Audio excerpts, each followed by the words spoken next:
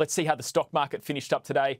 Local market opened lower this morning, pushed down by healthcare companies, utilities, and mining stocks. Energy companies did well. The market finished down by 0.4%. And here's the performance for the week. You can see it was a good one for the ASX, which lifted sharply on Wednesday thanks to the monthly inflation numbers coming in lower than expected. So the market believes the RBA will keep the cash rate on hold on Tuesday. So the ASX 200 finished the week up 2.3%.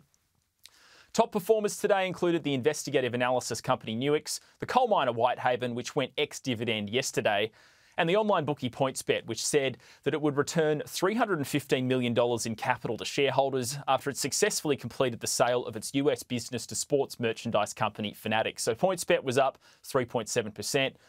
And we said health stocks were the worst performers, and you can see here medicine maker Mesoblast, pharmaceuticals company Clinuvel, and the synthetic, synthetic skin maker PolyNovo all in the red.